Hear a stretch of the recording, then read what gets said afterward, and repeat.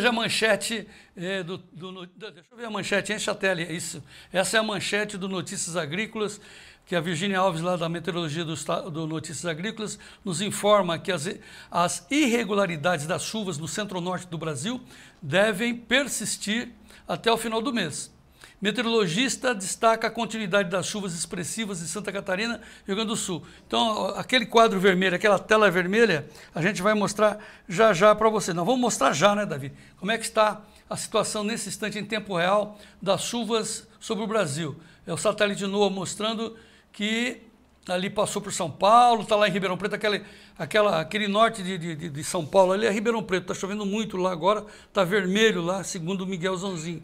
Também está chovendo dentro de Minas Gerais, na região do Espírito Santo, chuva ali no norte eh, do Tocantins com o Goiás, norte de Goiás com o Tocantins, eh, chuva também no Pará, chuvas no norte do leste do Tocantins, do Pará com o Maranhão, tem chuvas também no, no, estado do Pará e fortes chuvas ali na cabeça do cachorro, perto de Roraima, no estado do Amazonas. Enquanto que lá embaixo, no Mato Grosso, na Bolívia, tempo seco, seco, seco.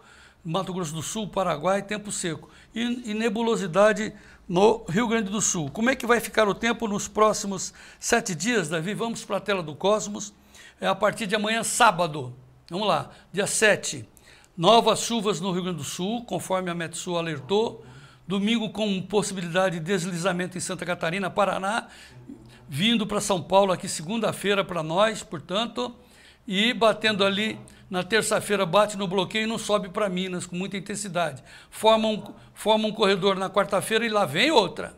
Lá vem outra na quarta-feira Quinta-feira, de novo, muita chuva no Rio Grande do Sul. Santa Catarina sobe para o Paraná sexta-feira, mas bate no bloqueio. Tem um bloqueio ali entre São Paulo e Minas Gerais, jogando essa frente para o Atlântico. Vocês viram. Enquanto que o restante, o centro-norte do Brasil, continua seco, sem chuvas. E plantio atrasado. E faz muito bem, tem que segurar, esperar as chuvas. Davi, vamos, vamos ver de novo. Vamos a partir de amanhã, sábado. Solta aí. Dia 7 chuva no Rio Grande do Sul, sábado, vem para Santa Catarina, 8, domingo. É muito preocupante essas faixas vermelhas aí. Vem para Paraná, segunda-feira, São Paulo, corredor com o Bato Grosso, Goiás, né? Terça-feira, o corredor se desfaz, vai para o Atlântico, mas na quarta-feira, nova, dia 11, nova chuvarada.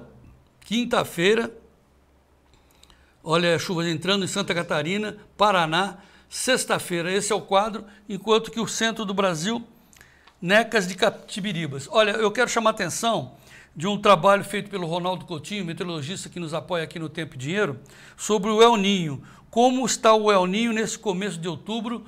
É um trabalho que o Ronaldo Coutinho está colocando sua, nos seus canais do YouTube e também no nosso canal do Tempo e Dinheiro. Você entra no nosso canal e vê esse trabalho do, do, do Ronaldo Coutinho não, esse é da Metsul, né, Davi? Esse é da Metsul, não é do Ronaldo, não. Esse é da Metsul.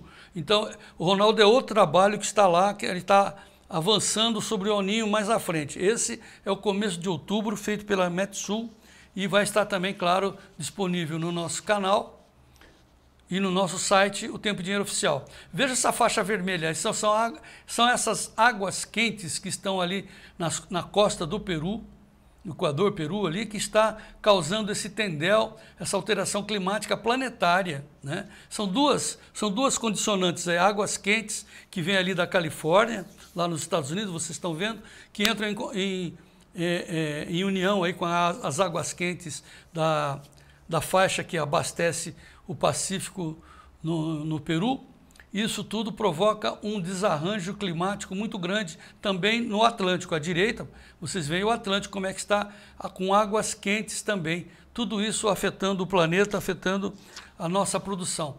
Muitas chuvas no sul e corte de chuvas no norte, também no, no nordeste, centro-oeste, Matopiba. Essa é a definição que nós temos com o, com o clima.